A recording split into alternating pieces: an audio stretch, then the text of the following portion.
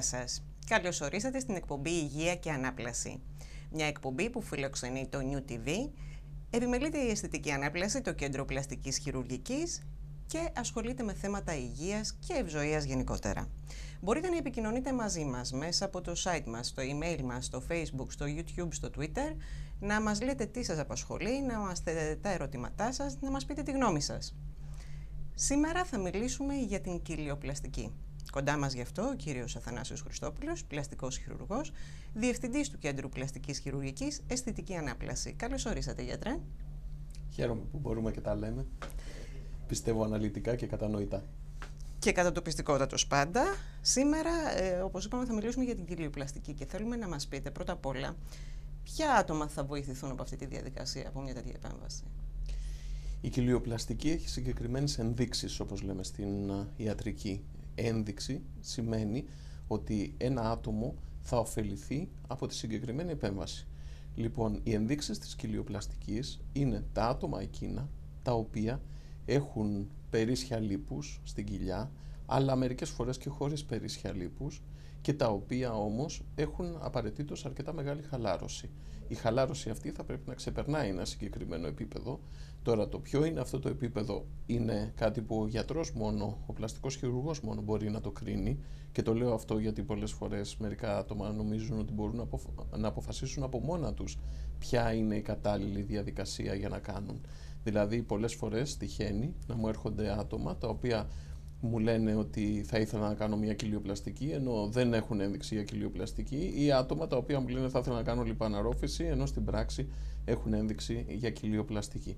Επομένως, τα άτομα που θα ωφεληθούν είναι τα άτομα εκείνα που έχουν αρκετή χαλάρωση στο, στο δέρμα της κοιλιάς, Μερικές φορές μπορεί να έχουν και χαλάρωση στο κοιλιακό τείχομα. Όταν λέμε κοιλιακό τείχομα εννοούμε τους μύες της κοιλιάς, εννοούμε να, έχει, να έχουν χαλαρώσει οι μύες της κοιλιάς, κυρίως λόγω κάποιας εγκυμοσύνης, αλλά πολλές φορές και λόγω μεγαλύτερου βάρους, το ότι είχαν πάρα πολύ βάρος στο παρελθόν. Πιο πολύ βέβαια είναι η εγκυμοσύνη που παίζει ρόλο σε αυτό. Και ε, παράλληλα αυτά τα άτομα συνήθως έχουν και χαλάρωση στο δέρμα ή μπορεί να είναι και χωρίς χαλάρωση. Συνήθως όμως η κοιλιοπλαστική έχει ένδειξη, ξαναλέω, στα άτομα εκείνα που έχουν χαλάρωση στο δέρμα και πολλές φορές και περίσσια λίπους, τις περισσότερες φορές έχουν και περίσσια λίπους ή και χαλάρωση στο κοιλιακό τείχομα. Και πώς γίνεται αυτή η διαδικασία, πώς γίνεται αυτή η διαδικασία αυτή, η διαδικασία αυτή ε, γίνεται σε ένα χώρο χειρουργείου φυσικά, σε ένα κατάλληλα εξοπλισμένο χώρο χειρουργείου και το λέω αυτό διότι είναι πολύ σημαντικό θέμα η ασφάλεια σε τέτοιου είδους διαδικασίες. Κάνουμε λοιπόν σε ένα νοσοκομείο, αυτό δεν πρέπει να τρομάζει τον κόσμο διότι πάντα παίρνουμε μέτρα παραπάνω από αυτά που χρειαζόμαστε. Δηλαδή, όταν κάνουμε μια τέτοια επέμβαση, την κάνουμε σε ένα χώρο που γίνονται και επεμβάσεις ανοιχτής καρδιάς στο ίδιο χώρο. Αυτό δεν σημαίνει ότι θα μας χρειαστούν όλες αυτές οι υποδομέ. Ότι πρέπει να αγχωνόμαστε, ότι πρέπει να αγχωνόμαστε για αυτό. Όμως, καλό είναι πάντα τα μέτρα ασφάλειας που υπάρχουν να είναι παραπάνω από αυτά που πραγματικά χρειάζονται και ας μην χρειαστούν. Επομένως γίνεται σε ένα κατάλληλα εξοπλισμένο χώρο χειρουργείου όπου το άτομο αυτό έρχεται το πρωί της ημέρας, κάνουμε κάποιες εξετάσεις και αμέσως μετά κάνουμε την επέμβαση αυτή. Πώς γίνεται; Στην ουσία αυτό που γίνεται είναι μία τομή χαμηλά στο κοιλιακό τείχομα σε σημείο που καλύπτεται μετά από το εσώρουχο ή από το μαγιό. Βλέπουμε και στην εικόνα παράλληλα. Βλέπουμε ακριβώς, ναι, εδώ πέρα. Μετά, αφού γίνεται η αποκόλληση αυτή, τεντώνουμε το δέρμα. Βλέπετε εδώ στην εικόνα ότι φτάνει σε σημείο που το σημείο που ήταν ο ομφαλός κατεβαίνει μέχρι κάτω. Αυτό λόγω της χαλάρωσης που έχει το δέρμα.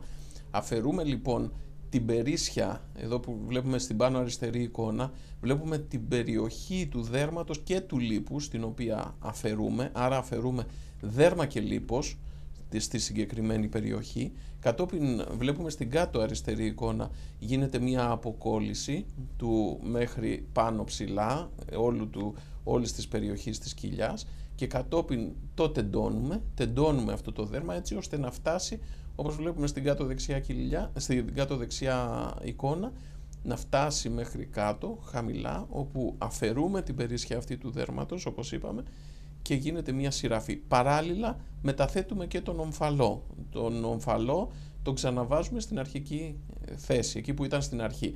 Τώρα εδώ πέρα σε αυτή την εικόνα βλέπουμε αυτό που γίνεται κάτω από το δέρμα και το λίπος, δηλαδή έχουμε μια κοιλιά που έχει χαλαρά κοιλιακά τυχώματα, δηλαδή τα τυχώματα είπαμε είναι οι μύες της κοιλιάς, οι μύες και οι περιτονίες της κοιλιάς. Αυτά λοιπόν τα μαζεύουμε και γίνεται μια σειραφή στη μέση γραμμή. Αυτό γιατί γίνεται, διότι ε, συνήθως όπως είπα και πριν, μετά από εγκυμοσύνες, αυτό το σημείο έχει χαλαρώσει, επομένως χρειάζεται κάποιο, ας το πω εντός εισαγωγικών, και το μαζεύουμε, το σειράπτουμε. Αυτό, αυτή η κίνηση που κάνουμε, εκτός του ότι δίνει πιο στενό κοιλιακό τείχομα, μας δίνει πιο στενή την εικόνα της κοιλιάς, παράλληλα όμως ενισχύει και τη μέση γραμμή, ενισχύει την περιοχή αυτή, ώστε στο μέλλον να μην έχουμε και προβλήματα όπως είναι οι κύλες ε, και διάφορα τέτοια, δηλαδή το αδυνατισμένο που οφείλονται στο αδυνατισμένο αυτό κοιλιακό τείχομα. Η ε, γυμναστική μπορεί να βοηθήσει σε αυτό, στο ε, χαλαρό κοιλιακό τείχομα, σαν προετοιμασία, όχι, ας πούμε, πριν τη διαδικασία; Όχι, η κοιλιοπλαστική δεν βοηθάει ιδιαίτερα σε αυτό. Η Καλό είναι... Η γυμναστική είναι. Η, καλό είναι κανείς να γυμνάζεται, δεν αντιλέγω σαφώς, αλλά το, όταν έχει χαλαρώσει αυτό το κοιλιακό τείχομα, μην, περιμένει, μην περιμένει κανείς ότι με τη γυμναστική θα μπορέσει να το διορθώσει. Εδώ χρειάζεται μια πιο δραστική επέμβαση, όπως είναι αυτή της κοιλιοπλαστικής. Όπως είπαμε λοιπόν, ε, αφού αφαιρέσουμε το δέρμα, γίνεται η σειραφή. Μετά, τελειώνοντας την επέμβαση, τοποθετούμε ένα κορσέ και το άτομο αυτό πηγαίνει στο δωμάτιο. Η διάρκεια της διαδικασίας αυτής δηλαδή πόσο περίπου είναι; Συνήθως ανάλογα με την περίπτωση κυμαίνεται από 2 έως 3 ώρες εάν κάνουμε μία πλήρη κοιλιοπλαστική. Το λέω αυτό γιατί υπάρχουν και άλλα είδη κοιλιοπλαστικής που ε, είναι μικρότερου βαθμού και επομένως η διάρκεια είναι μικρότερη. Και παραμονή στην κλινική; Η παραμονή στην κλινική είναι της τάξης της, των μερικών, το πολύ μία μέρα, το πολύ ένα 24ωρο, Πολλά άτομα φεύγουν και το βράδυ της ίδιας μέρας, δηλαδή μπαίνουν το πρωί και φεύγουν το βράδυ, αλλά πολλές άλλες φορές χρειάζεται να παραμείνει κανείς ένα βράδυ και να φύγει την άλλη μέρα το πρωί, δηλαδή να μείνει 24 ώρες μέσα στην κλινική. Παραπάνω δεν χρειάζεται, δεν, μέχρι στιγμής τουλάχιστον δεν μου έχει χρειαστεί. Κάποια προετοιμασία χρειάζεται πριν τη διαδικασία; Πριν τη διαδικασία, βεβαίως, ε, δεν χρειάζονται ιδιαίτερες, διαδικα...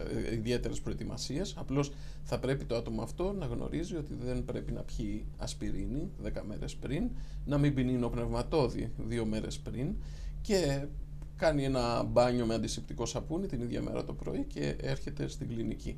Δεν χρειάζεται κάτι παραπάνω φέρνει μαζί του και τον κορσέ και ε, γίνεται η διαδικασία. Η αναισθησία είναι γενική, Η αναισθησία μπορεί να είναι οποιοδήποτε είδος αναισθησίας της περιοχής. Βέβαια δεν μπορεί να γίνει με τοπική αναισθησία αυτή η διαδικασία. Εκτός αν πρόκειται για μήνυ κοιλιοπλαστική, την οποία θα την αναλύσουμε Ε, η κανονική κοιλιοπλαστική δεν μπορεί να γίνει με τοπική. Γίνεται λοιπόν ή με γενική αναισθησία ή με επισκληρίδιο αναισθησία, αυτό που κάνουν οι γυναίκες για να γεννήσουν. Στην κεσαρική. Στην κεσαρική ακριβώς, μπορεί να γίνει με επισκληρίδιο διαδικασία, ε, αναισθησία ή μερικές φορές κάνουμε αναισθησία με λαρυγγική μάσκα, η οποία είναι ένα είδος ελαφράς αναισθησίας, το οποίο επίσης είναι κατάλληλο για τη διαδικασία αυτή. Ας δούμε όμως ποια είδη κοιλιοπλαστικής υπάρχουν, πώς επιλέγουμε ε, ποιο είναι το κατάλληλο για εμάς και ποια είδη Ποια είδη κοιλιοπλαστική. Είπαμε Στα... τη ναι, μήνυ ωραία, και ωραία. Η κλασική κοιλιοπλαστική είναι αυτή την οποία αναφέραμε. Mm-hmm.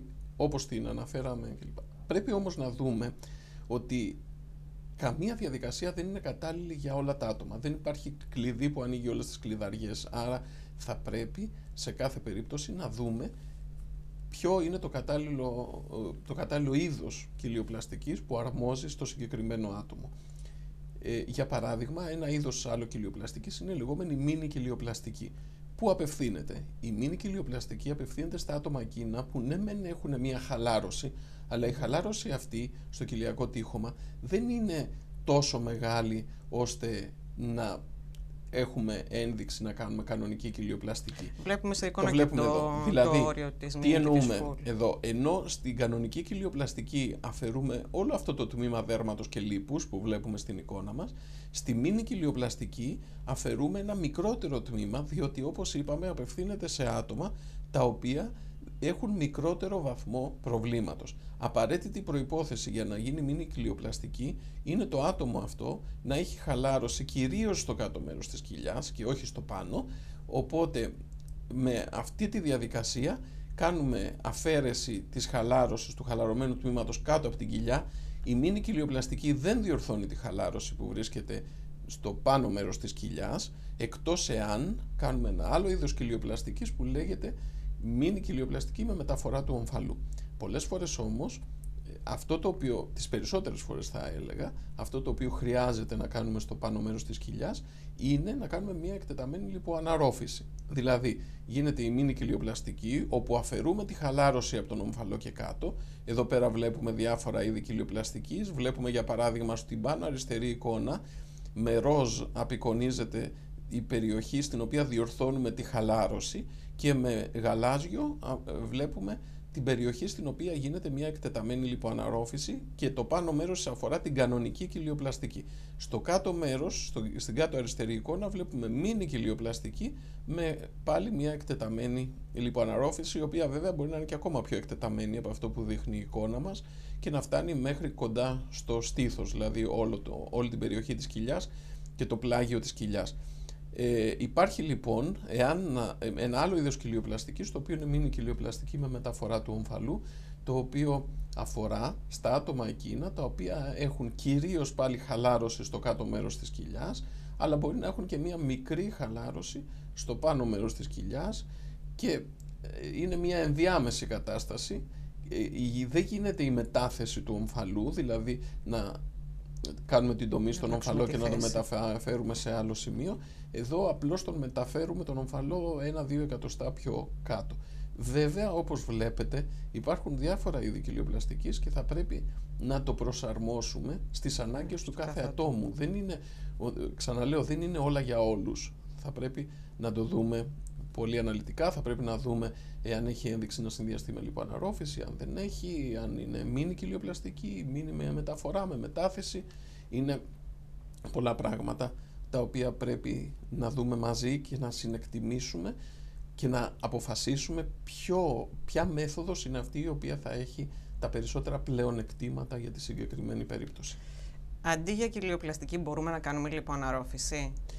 Λιποαναρρόφηση μπορούμε να κάνουμε, όχι, θα έλεγα, όχι, δεν, δεν, μπορούμε, δεν αντικαθιστά το ένα το άλλο. Θα πρέπει να γίνει ένας σαφής διαχωρισμός μεταξύ των ατόμων που έχουν ένδειξη για λιποαναρρόφηση και των ατόμων που έχουν ένδειξη για κοιλιοπλαστική.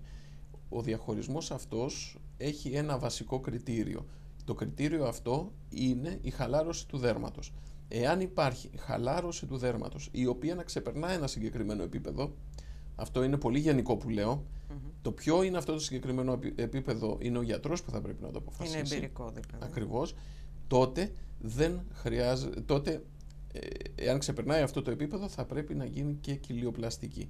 Εάν υπάρχει ένα μικρό, ένας μικρός βαθμός χαλάρωσης θα πρέπει τότε να δούμε εάν αυτός ο μικρός βαθμός χαλάρωσης μας επιτρέπει να κάνουμε μόνο λιποαναρρόφηση ή σε αυτές τις περιπτώσεις που είναι λίγο οριακές ενδείκνυται η λιπόλυση με λέιζερ η οποία κάνει ένα μικρό βαθμό διόρθωσης της χαλάρωσης. Βέβαια, η λιπόλυση με λέιζερ δεν μπορεί να γίνει σε άτομα που έχουν εκτεταμένη χαλάρωση στην κοιλιά, μπορεί όμως να γίνει στα άτομα εκείνα τα οποία έχουν ένα μικρό βαθμό χαλάρωσης και είναι οριακά μεταξύ του να κάνουν κοιλιοπλαστική ή λιποαναρρόφηση. Στα άτομα αυτά λοιπόν μπορεί να επιτρέψει η λέιζερ λιπόλυση να γίνει λιποαναρρόφηση μόνο και να μην γίνει κοιλιοπλαστική. Όμως αυτό είναι καθαρά στην κρίση του γιατρού, ο οποίος με βάση την εμπειρία του και πρέπει να έχει αρκετή εμπειρία ο γιατρός πάνω σε αυτό το τομέα για να μπορέσει να αποφασίσει, ιδίως αυτά, τα οριακά, ναι. αυτά τα οριακά περιστατικά,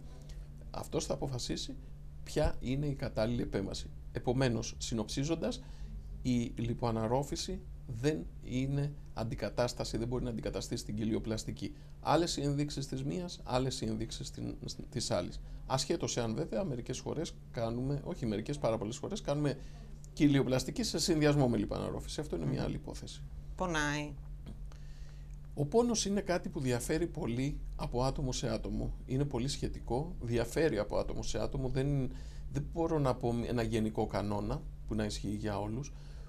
Υπάρχουν άτομα τα οποία μου λένε «Α, νόμι, δεν είναι κάτι». Υπάρχουν άτομα τα οποία έχουν κάποιο βαθμό ενόχλησης. Όμως, σήμερα υπάρχουν κατάλληλα φάρμακα τα οποία καλύπτουν αυτό τον πόνο με μια σωστή αγωγή η οποία γίνεται από τον αναισθησιολόγο σε συνεννόηση με τον πλαστικό χειρούργο μπορεί το άτομο αυτό να μην έχει πόνο. Το άτομο το οποίο κάνει κοιλιοπλαστική, δεν λέω να μην έχει καθόλου πόνο, αλλά να έχει μια μικρού βαθμού και ανεκτή ενόχληση. Νομίζω ότι αυτό το τομέα τον καλύπτουμε αρκετά καλά, ακόμα και στα άτομα εκείνα τα οποία είναι πιο ευαίσθητα στον πόνο. Γιατί τα άτομα που δεν είναι τόσο ευαίσθητα στον πόνο, ούτως ή άλλως δεν έχουν ιδιαίτερο πρόβλημα.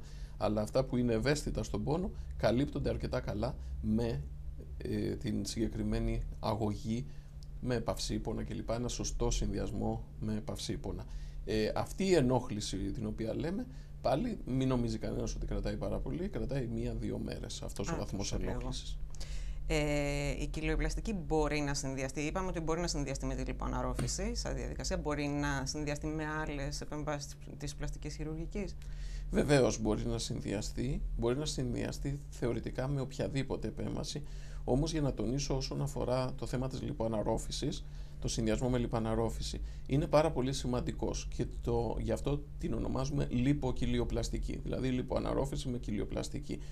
Τα τελευταία χρόνια θα έλεγα ότι οι περισσότερες κοιλιοπλαστικές τις οποίες εγώ τουλάχιστον κάνω συνδυάζονται με λιπαναρρόφηση. Τις συνδυάζουμε με λιπαναρρόφηση. Δίνει ένα πολύ καλύτερο αποτέλεσμα, διότι η κοιλιοπλαστική διορθώνει κυρίως το μπροστινό μέρος της κοιλιάς. Εκτός του ότι η λιπαναρρόφηση το βελτιώνει περαιτέρω, χρειάζεται τις περισσότερες φορές να κάνουμε κάτι και στο πλάι της κοιλιάς, όπου υπάρχουν αυτά τα γνωστά σωσίδια, τα οποία με την κοιλιοπλαστική δεν διορθώνονται. Επομένως εκεί κάνουμε τη λεγόμενη λιποκυλιοπλαστική, δηλαδή συνδυασμό κοιλιοπλαστικής με λιποαναρρόφηση. Προσοχή όμως, η λιποαναρρόφηση στην κοιλιοπλαστική δεν μπορεί να είναι τόσο ριζική όσο είναι εάν γίνει από μόνη της. Χρειάζεται κάποια ιδιαίτερη γνώση πάνω σε αυτό και κάποια ιδιαίτερη διαδικασία. Διότι εάν κάνει κανένας μια πολύ ριζική λιπαναρρόφηση, εκεί αρχίζει να ρισκάρει να υπάρξουν κάποιες επιπλοκές λόγω μειωμένης αιμάτωσης του δέρματος. Επομένως, ο πλαστικός χειρουργός θα πρέπει να ξέρει μέχρι ποιο βαθμό θα προχωρήσει αυτή τη λιπαναρρόφηση και σε, ποιο, σε ποια σημεία θα την κάνει. Δεν είναι η ίδια λιπαναρρόφηση την οποία κάνουμε όταν κάνουμε λιπαναρρόφηση μόνο. Αυτό είναι πολύ σημαντικό και ήθελα να το τονίσω. Όσον αφορά δε το αν μπορεί να συνδυαστεί με άλλες επεμβάσεις, σαφώς και μπορεί να συνδυαστεί ε, με άλλες επεμβάσεις, αρκεί να μην είναι πολύ εκτεταμένες, να μην είναι μεγάλες επεμβάσεις, διότι εκεί αρχίζουμε πλέον να διακινδυνεύουμε θέματα ασφάλειας του ατόμου. Πρέπει πάντα να έχουμε στο νου μας ότι το πρώτο που κοιτάμε σε τέτοιου είδους διαδικασίες είναι την ασφάλεια. Άρα ε, κάποιος που έρχεται στο ιατρείο, κάποιος που έρχεται για να κάνει αυτή τη διαδικασία σκέφτεται το τελικό αποτέλεσμα. Εγώ όμως ως γιατρός αυτό που πρέπει να σκέφτομαι πρώτα απ' όλα είναι την ασφάλειά του και δευτερευόντως όλα τα υπόλοιπα τα οποία σαφώς έχουν μεγάλη σημασία αλλά πιο πολύ είναι το θέμα της ασφάλειας. Λοιπόν, ε, πολλά άτομα έρχονται, ιδίως άτομα που έχουν χάσει πάρα πολύ βάρος και που έχουν χαλάρωση σε όλα τα σημεία του σώματος έρχονται και ζητάνε αν είναι δυνατόν να χειρουργηθούν σε μία μέρα και να κάνουν τα πάντα από την κορφή ως τα νύχια. Αυτό μπορεί να ακούγεται ωραίο, μπορεί να ακούγεται ελκυστικό. Κάποιοι μπορεί να τους το υπόσχονται, διότι είναι ο λεγόμενος λαϊκισμός και στην πλαστική χειρουργική. Ε, όμως δεν είναι σωστό να γίνεται και πρέπει ο πλαστικός χειρουργός να μπορεί να δει με βάση το προφίλ της υγείας αυτού του ατόμου, δηλαδή αν υπάρχουν άλλα νοσήματα, πόσο είναι ο αιματοκρίτης του και διάφορα άλλα, να δει μέχρι ποιο σημείο μπορεί να προχωρήσει. Ένα άτομο, για παράδειγμα, το οποίο έχει ένα χαμηλό αιματοκρίτη, δεν μπορεί να κάνει πάρα πολλές παράλληλες επεμβάσεις. Δεν μπορεί να πιάσει να χειρουργείται παντού. Δεν είναι ένα άψυχο όν το οποίο το βάζεις κάτω και, το, και, το, και του κάνεις διάφορες Ε, θα πρέπει λοιπόν κανείς να έχει υπόψη του ότι ναι, να γίνουν και άλλες διαδικασίες, σαφώς, αλλά πάντα με γνώμονα την ασφάλεια του ίδιου το, του ατόμου, το οποίο πιστεύω ότι ο καθένας θέλει την ασφάλειά του. Ναι, αλλά όπως είπατε παρασυρώμαστε και λέμε θα μπω που θα μπω, ας κάνω και εκείνο, ας κάνω και εκείνο, ας κάνω και το άλλο. Ακριβώς. Και εκεί είναι που πρέπει Ακριβώς ο αυτό να μας γίνεται. φρενάρει. μάλλον. Ακριβώς. Εκεί πρέπει να υπάρχει ένα φρένο. Το λέω γιατί ακούω μερικές φορές διαδικασίες πολύ εκτεταμένες και ε, εντυπωσιάζομαι. Λέω, θέλετε να πάρετε τέτοιο ρίσκο; Και όταν ακούν τη λέξη ρίσκο, μου λένε γιατί παίρνω ρίσκο; Σαφώς και παίρνετε ρίσκο όταν κάνετε πολύ εκτεταμένες διαδικασίες. Επομένως, χρειάζεται. Ναι, μπορεί να συνδυαστεί η κοιλιοπλαστική με άλλα πράγματα, αλλά πρέπει να δούμε μέχρι ποιου σημείου. Μάλιστα. Με τις ραγάδες τι γίνεται, μπορούμε να τις αφαιρέσουμε κάνοντας κοιλιοπλαστική. Με τις ραγάδες, α, οι ραγάδες αφαιρούνται αυτές οι οποίες βρίσκονται από τον ομφαλό και κάτω. Βλέπουμε εδώ πέρα μία εικόνα, μία γυναίκα έγκυο σε φάση εγκυμοσύνης, η οποία έχει δημιουργήσει κάποιες ραγάδες, οι οποίες μάλιστα είναι και πρόσφατες, γιατί βλέπουμε και είναι ακόμα κόκκινες. Όταν είναι κόκκινες σημαίνει ότι είναι πρόσφατες, δεν έχουν μονιμοποιηθεί. Αυτή λοιπόν η γυναίκα, η οποία βλέπουμε έχει τις ραγάδες κάτω από, το, κάτω από τον ομφαλό, κάνοντας μια κοιλιοπλαστική, σαφώς θα βοηθηθεί και στο θέμα των ραγάδων, διότι οι ραγάδες αυτές θα αφαιρεθούν. Εδώ βλέπουμε ένα άτομο το οποίο δεν έχει ραγάδες μεν, αλλά έχει ουλές και το δείχνουμε για να καταλάβουμε ότι υπάρχουν και άλλες περιπτώσεις που μπορεί να βοηθήσει μια κοιλιοπλαστική. Για παράδειγμα, εδώ είχε κάποιες ουλές από μια παλιά επέμβαση, οι οποίες δημιουργούσαν μια, μια πολύ Αντιαισθητική έτσι, εικόνα. αντιαισθητική εικόνα. Αυτή η γυναίκα δεν μπορεί να πάει στη θάλασσα να κάνει μπάνιο έτσι, γιατί γίνεται το κέντρο της προσοχής όλων. Επομένως, ε, το βλέπουμε και σε προφίλ εδώ πέρα. Επομένως, στην κοιλιοπλαστική, ό,τι υπάρχει από τον ομφαλό και κάτω, αφαιρείται. Επομένως, βλέπουμε λοιπόν ότι ε, ε, αυτές, οι, αυτές οι ουλές που βρίσκονται από τον ομφαλό και κάτω, που στη συγκεκριμένη περίπτωση είναι ουλές, θα μπορούσαν να είναι και ραγάδες ή οτιδήποτε άλλο, ναι, αυτό αφαιρείται. Εδώ λοιπόν, τεντώνοντάς το και κάνοντας μια κοιλιοπλαστική, έρχεται και ε, ερχόμαστε και έχουμε αυτό το αποτέλεσμα εδώ. Βλέπουμε έχει μείνει πάνω από το εσώρουχο, αν δούμε στο εσώρουχο μια κάθετη τομή λίγο, η οποία αυτή έμεινε από μια ουλή που υπήρχε και η οποία ήταν πάνω από τον ομφαλό, επομένως ε, παρέμεινε λίγο, αλλά σαφώς το αποτέλεσμα που βλέπουμε Καμία νομίζω σχέση. ότι Μα την καμία βοηθάει σχέση. πάρα πολύ και ότι ναι, είναι τώρα μια κοιλιά παρουσιάσιμη και μπορεί να πάει στη θάλασσα για μπάνιο, μπορεί να εμφανιστεί χωρίς να αποτελεί ένα αποκρουστικό θέαμα για τους υπόλοιπους που την κοιτάνε. Άρα ε, βλέπουμε σε και άλλες περιπτώσεις στις οποίες μπορεί η κοιλιοπλαστική να βοηθήσει. Μάλιστα. Οι τομές που γίνονται, α, αφήνουν σημάδια. ε, Οι, οι τομές, ε, Μας είπατε υπάρχουν ότι οι είναι τομές, μία τομή κατά βάση. ναι, ναι, γίνεται μία τομή η οποία είναι χαμηλά οριζόντια στα σημεία που βλέπουμε εδώ πέρα. Ε, στα σημεία αυτά βλέπουμε είναι σημεία τα οποία καλύπτονται από το εσώρουχο ή από το μαγιό στην παραλία και υπάρχει και άλλη μια τομή η οποία είναι μέσα στον ομφαλό γίνεται. Αυτή δεν φαίνεται γιατί είναι μέσα στον ομφαλό.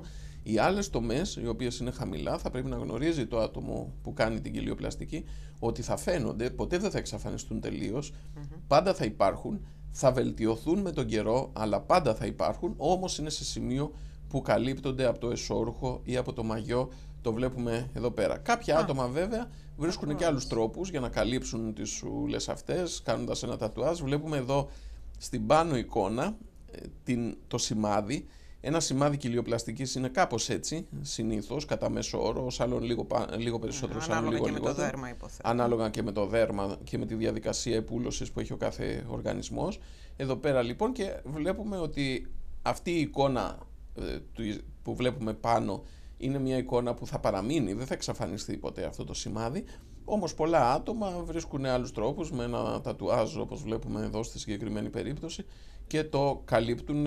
Βέβαια σας λέω στην παραλία με το μαγιό καλύπτεται αυτό αλλά κάποιοι μπορεί να θέλουν να κάνουν και γυμνισμό κλπ. Οπότε ε, με, αυτές, με αυτούς τους τρόπους καλύπτουν το σημάδι αυτό. Τι πρέπει να προσέχουμε μετά από μια κοιλιοπλαστική. Υπάρχουν πράγματα τα οποία ε, πλέον δεν ξανακάνουμε, ε, συνεχίζουμε τις δραστηριότητες μας κανονικά. Συνεχίζουμε κανονικά τις δραστηριότητες μας.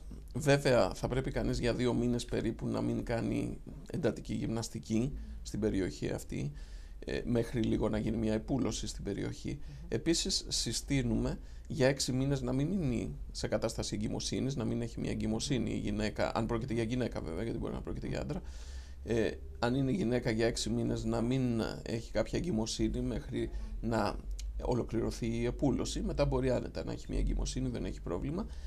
Ε, και κατά τα άλλα μπορεί το άτομο αυτό να κάνει οτιδήποτε. Στην παραλία πότε μπορούμε να πάμε; Στην παραλία συνήθως ε, μετά από ένα-ενάμιση μήνα μπορεί κανείς να εμφανιστεί χωρίς να φαίνεται κάτι. Και στη δουλειά μας; Στην εργασία μπορεί κανείς, ε, εδώ βλέπουμε φοράει, φοράμε ένα κορσέ mm-hmm. αμέσως μετά, πρέπει κανείς να φορέσει ένα κορσέ τον οποίο τον φοράει περίπου για ένα-ενάμιση μήνα ε, και ο οποίος κρατάει κάπως την περιοχή για να κολλήσει σωστά. Ε, τώρα στη δουλειά μας πότε μπορούμε να πάμε συνήθως εξαρτάται από την ευαισθησία του κάθε ατόμου. Συνήθως μετά από 5-6 μέρες πηγαίνουν τα άτομα αυτά στη δουλειά τους. Υπάρχουν άτομα που μου έχουν τύχει και έχουν πάει στις 3 μέρες. Υπάρχουν άτομα που πήγαν στη βδομάδα. Ε, κάπου εκεί είναι ο χρόνος που χρειάζεται. Εξαρτάται βέβαια και από το είδος της εργασίας που κάνει κάποιος. Τώρα συζητάμε για εργασία γραφείου. Εάν ένα άτομο κάνει μια βαριά εργασία, ε, σαφώς χρειάζεται μεγαλύτερο χρονικό διάστημα. Γιατί εκεί εμπίπτει και σε αυτά που λέμε για την γυμναστική, ότι δεν μπορείς να κάνεις έντονες ασκήσεις. Mm-hmm. Επομένως, ένα άτομο που κάνει μια πιο βαριά εργασία μπορεί να χρειαστεί να πάει στην εργασία του μετά από 15 μέρες και μάλιστα και για τον πρώτο καιρό να αποφύγει τις πολύ βαριές ε, δουλειές. Εξαρτάται πάντα από το, από το τι εργασία κάνει. Mm-hmm. Αν συζητάμε πάντως για εργασία γραφείου, κυμαίνεται εκεί τρεις με 7 μέρες, κάπου εκεί κυμαίνονται. Ε, είναι μια επέμβαση η οποία μπορεί να συνδυαστεί με την κεσαρική, δηλαδή μια γυναίκα, γιατί εμείς έχουμε ένα άγχος με αυτό. Πάμε στη, να γεννήσουμε και λέμε, αφού πάμε να γεννήσουμε, ας μαζέψουμε και ό,τι υπάρχει. Ναι. Μπορεί να γίνει δηλαδή παράλληλα με μια κεσαρική, με, μια, με έναν τοκετό. Αυτό είναι ένας μύθος που τον έχω ακούσει πολλές φορές. Δηλαδή ότι ξέρεις κάτι, θα φέρω και έναν πλαστικό χειρουργό στην εγκυμοσύνη να μαζέψει την κοιλιά. Αυτό όχι, δεν μπορεί να γίνει. Και οι λόγοι είναι οι εξής. Πρώτον, δεν γνωρίζουμε ποτέ πώς θα συμπεριφερθεί αυτή η κοιλιά μετά. Μπορεί αυτή η κοιλιά να μαζευτεί για να, και να μην χρειάζεται μια κοιλιοπλαστική. Μπορεί το δέρμα να επανακτήσει την ελαστικότητά του και επομένως να, να μην χρειαστεί να γίνει αυτό και αν κάνουμε μια κοιλιοπλαστική να κάνουμε μια άσκοπη ενέργεια.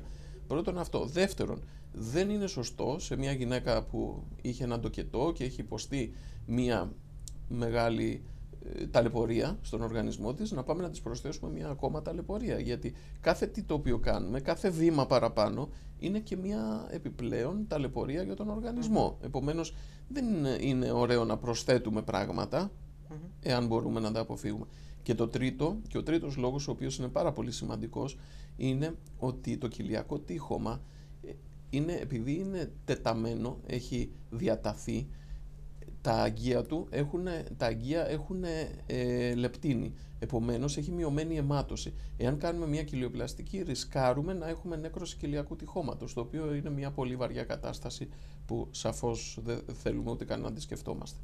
Επομένως, θα πρέπει, αν γίνει μια κοιλιοπλαστική, να γίνει τουλάχιστον 8 μήνες μετά, την, μετά τον τοκετό. Και αν ακολουθήσει και άλλη εγκυμοσύνη, κάνουμε μια κοιλιοπλαστική και ακολουθεί άλλη εγκυμοσύνη, πώς συμπεριφέρεται το, το κομμάτι αυτού του σώματός μας; Συμπεριφέρεται μια χαρά, όπως, αρκεί όπως είπα να έχουν περάσει τουλάχιστον 6 μήνες για να έχει ανακτήσει λίγο, να έχει κάνει μια επούλωση. Μετά από 6 μήνες δεν έχει κανένα πρόβλημα. Ωραία. Οι άντρες Είδαμε κάποιες φωτογραφίες, κάποιες εικόνες. Οι άντρες κάνουν κοιλιοπλαστική. Οι άντρες κάνουν κοιλιοπλαστική πάρα πολύ συχνά. Είναι πολύ συχνό φαινόμενο. Βλέπουμε εδώ μια περίπτωση που έχει γίνει και διόρθωση γυναικομαστίας. Εδώ πέρα έχει γίνει μια εκτεταμένη λιποαναρρόφηση στην κοιλιά και στους μαστούς. Βλέπουμε, έχει διορθωθεί και αυτό και, και ο μαστός. και έχουμε αφαιρέσει την περίσσια του δέρματος, επομένως έχουμε κάνει μια κοιλιοπλαστική μαζί με λιποαναρρόφηση στους μαστούς και βλέπουμε αυτό το αποτέλεσμα το οποίο θεωρώ ότι είναι αρκετά ικανοποιητικό. Ωραία. Ε, κόστος. Το κόστος εξαρτάται, δεν μπορώ να πω συγκεκριμένα νούμερα γιατί εξαρτάται από πολλούς παράγοντες, εξαρτάται από το είδος του προβλήματος που έχει ένα άτομο, εξαρτάται από, δηλαδή τι θα κάνουμε, θα κάνουμε κανονική, θα κάνουμε μίνι, κοιλιοπλαστική, εξαρτάται από το, ο κάθε γιατρός έχει να αποτιμά διαφορετικά την δουλειά του, εξαρτάται από το αν θα γίνουν συνοδές διαδικασίες, εξαρτάται από το ποια κλινική θα γίνει, θα είναι πιο ακριβή κλινική, πιο φθηνή κλινική, επομένως ε, το κόστος διαφέρει. Θα πρέπει κανείς βέβαια να καταλάβει ότι OK, okay, κατανοώ το πρόβλημα το οικονομικό που μπορεί να έχει κανένας, αλλά πρώτα απ' όλα θα πρέπει να είναι η ασφάλεια.